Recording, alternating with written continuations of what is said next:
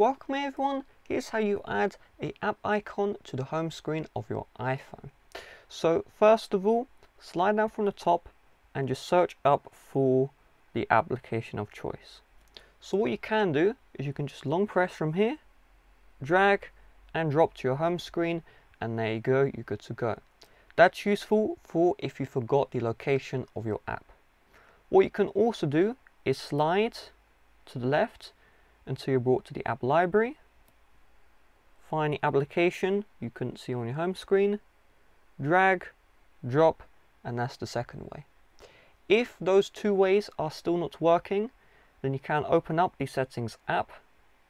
From here, you're going to find where it says general. You then want to find reset.